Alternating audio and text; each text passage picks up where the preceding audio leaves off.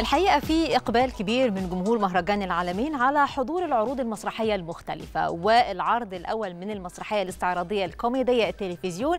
كان في إقبال كبير عليه وهي من بطولة النجمين حسن الرداد وإيمي سمير غانم. المسرحية هي مسرحية استعراضية ضمت عروض الحقيقة مبهرة جدا. عايزين نتعرف على كواليس تصميم الاستعراضات دي من خلال الفنان مصطفى حجاج مصمم رقصات المسرحية. برحب بيك.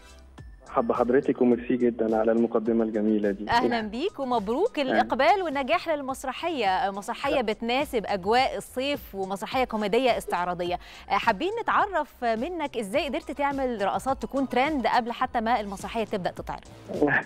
لا والله هو الحمد لله يعني يعني الأستاذة إيمي طبعا ما شاء الله عليها تمتلك حضور مش طبيعي. ده حقيقي. بصراحة يعني حتى ما ما خدتش معايا مجهود في البروفات خالص. وطبعا النجم حسن الرداد يعني هو هو يعني أصلا صديق عزيز عليا جدا ونعرف بعض من من من زمان جدا. ف فيعني برضه ما ما خدناش وقت في في التحضيرات لأن دايما بنحب نعمل حاجات دمها خفيف و... و... وتبقى بسيطة وتبقى حاجة شكلها يعني شيك. ف...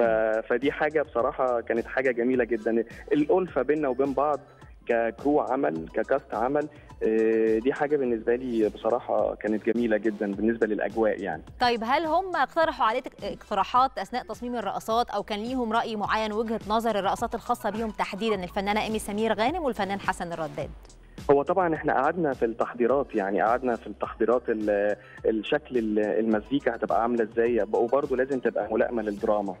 فدي حاجة برضو يعني طبعا قعدنا عليها طبعا إن إحنا إزاي هن التابلو الاستعراضي هيبقى شكله عامل إزاي وإزاي يبقى جوه السياق الدرامي ما يبقاش خارج السياق الدرامي يعني. كان في كام رقصة تقريبا في مسرحية التلفزيون؟ كام رقصة استعراضية؟ إحنا يعني حوالي أربع استعراضات منهم استعراض لإيمي وفي استعراض في الآخر خالص ده بيضم حسن وإيمي الاثنين مع بعض. وعدد الراقصين اللي كانوا في المسرحية كان عددهم كام؟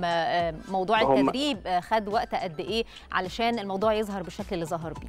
هو الموضوع التدريب والحمد لله يعني إحنا ما بناخدش وقت كبير قوي لأن أنا بالنسبة لي بقعد أحضر الأول لازم أحضر الأول اصمم الأول وبالنسبه بالنسبة للراقصين هم بيحفظوا على طول يعني ما بياخدوش وقت. بس هو اللي بيبقى بياخد وقت شوية هو موضوع التحضير لأنه بيبقى لازم برضو يبقى فيه فريم معين وعشان الدراما وعشان القالب الدرامي اللي بنعمل فيه الاستعراضات. فكل ده طبعا بيحتاج وقت بس مش وقت برضو كبير يعني. بيستغرق مثلا من خمس ل... ل... من خمس أيام لسبع أيام. طب شايف إزاي وجود المسرحية في مهرجان العالمين ووجود كمان فنانين زي ايمي سمير غانم وحسن الرداد يعني خلى في إقبال على المسرحية وفي ردود أفعال جميلة جدا لنوع من الفن كمان الاستعراضي مش مجرد مسرحية بس. والله قبل أي حاجة أنا يعني عاوز أتكلم عن الصرح الكبير اللي معمول في العالمين بجد حاجة مشرفة جدا. عايز أقول إن بلدنا حلوة جدا وبجد حاجة تشرف. يعني الموضوع جميل جدا وبيضم برضو فعاليات كبيرة جدا وكتيرة. ودي حاجة كانت برضو يكاد يكون كنا مفتقدينها في بعض في بعض من الوقت قبل كده يعني. فموضوع المسرحية الحمد لله يعني تقريبا حضرتك تقدري تقولي ان إن إحنا في في اشتياق للمسرح في العموم. يعني إحنا في عشق ده حقيقي. يمكن بيفكرنا بالمسرحيات اللي كانت دايما بتتعرض في الصيف في اسكندرية وكان بالزبط بيقبل بالزبط الناس عليها والفنان سمير غانم كمان بالتحديد كان طبعا. دايما يعني بيبهج الجمهور في الصيف بمسرحيات. اشتغلت الأستاذ سمير غانم عملت له مسرحية سيبوني أغني.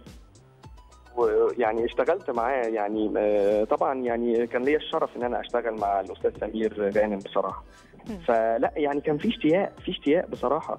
فلما رجعنا تاني بهذا الشكل و وفي صرح كبير زي العالمين مهرجان العالمين الحمد لله الجمهور بصراحة بيطلع مبسوط جدا وعايز يجي تاني وتالت ورابع.